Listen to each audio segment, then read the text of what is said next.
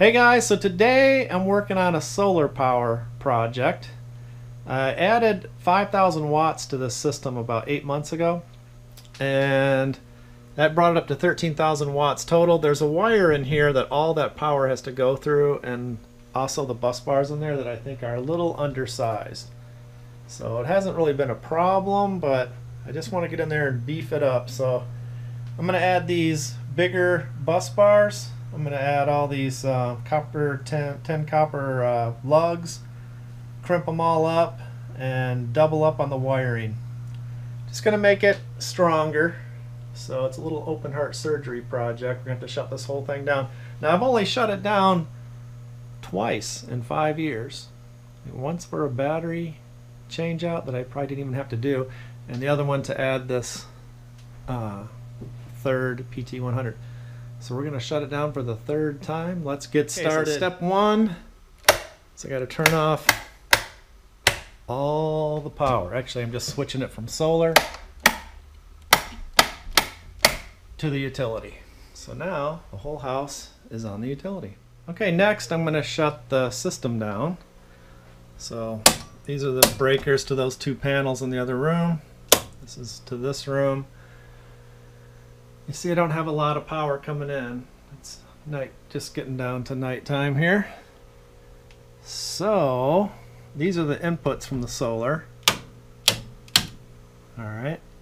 And these are the inputs to those charge controllers. That's the battery monitor kit. So let's cut the output. I'm going to wait for the inverters to shut down.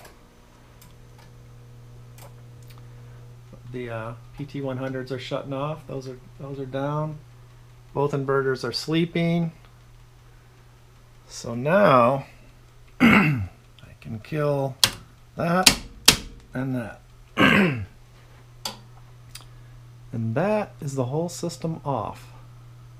Alright, next let's disconnect the batteries. I want no power in this box when I'm working in there. Okay, that's one. Next I'm going to pull this cover off. So here's where the problem is. You check out this bus bar right here is undersized. I've got these three wires represent the three arrays with about four or 5,000 watts on each of these. Let's say 4,000. Uh, they all come into this bus bar. This one's overloaded, which isn't good. And then all the power has to go through this one wire out to the either the battery bank or up to the inverters. So I'd like to come in here with a bigger bus bar like this guy. Put this in here if I can squeeze it in there. And then put the 10 copper lugs on all those uh, array wires. And then run two wires off of this. Uh, one to here and one to here. So let's get started. Alright guys, a couple hours later, and I've got the terminal block in there. I've rewired the three strings with lugs on them. I kept the old terminal and I jumped over to it for the little stuff. But now I've got two big one-aught cables for all the power. So basically I went from the one on the left here, one of those, to two of the wires on the right. So quite a bit more wire there. So hopefully that will do it. It is a little bit different, so I have to see how that if that creates any kind of a problem. Actually, it should be better. But we'll see. Let's get the power turned on and see what happens. Here we go. We're going to do inverter, inverter, battery monitor kit, PT100, PT100, PT100. These are the inputs from the panels. I'll leave those off for now. The whole thing should just power up, but it won't actually be running. Alright, so here we go.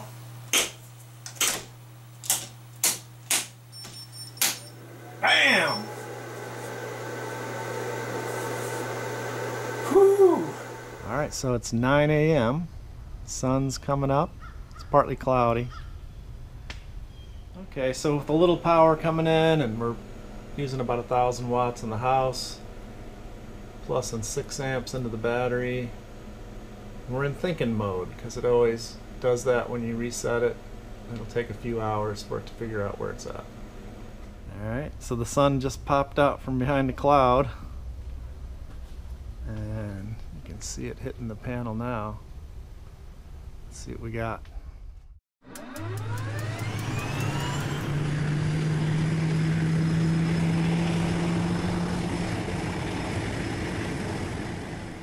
So now you can see we got over 3,000 watts coming in. Just putting about 50 amps in the battery. It's about a thousand watts being pulled in the house. So basically, we're uh, up and running again.